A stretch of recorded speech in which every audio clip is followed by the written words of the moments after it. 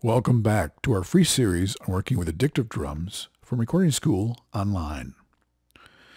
You can go to Recording School Online for much more advanced videos on mixing and advanced recording techniques.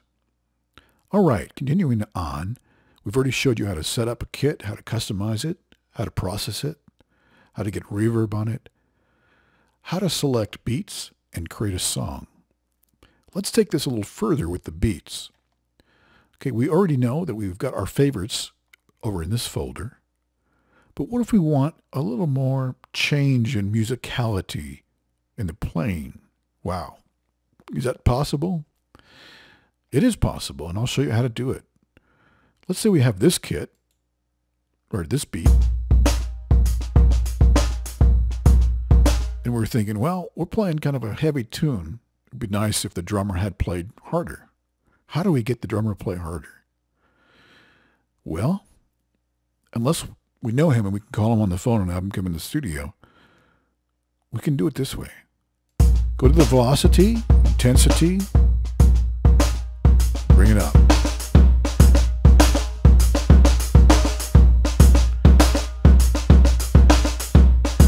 Pretty incredible. That means that once we set that and we then we drag our file to our recording program, we have the intensity changed and it will be exactly as we have it set. How cool is that? By the same token, we can soften it.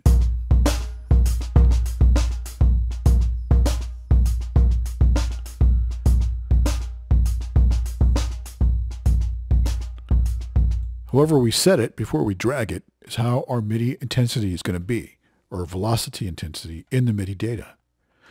We can also filter what is being sent in terms of what drums are being played. Uh, it's a velocity filter. It's a nifty little tool. Let's say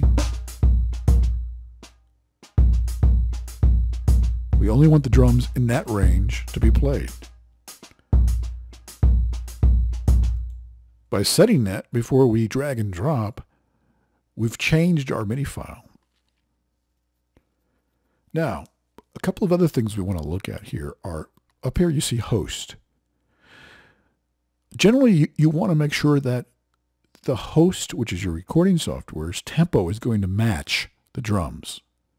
By clicking on this, I'm locking Addictive Drums to my host's tempo, which means that if I want to quantize anything such as my bass parts or other things, uh, anything that's MIDI this will enable me to do that by locking to the host tempo.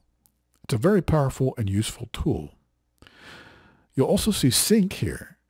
This essentially means that if I set that and I go back, every time I hit play, it'll start the drums.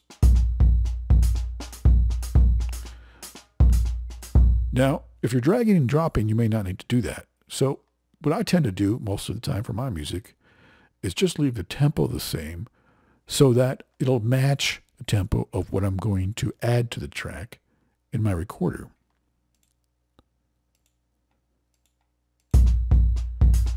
Now that's the tempo I have set, not the original tempo of the file.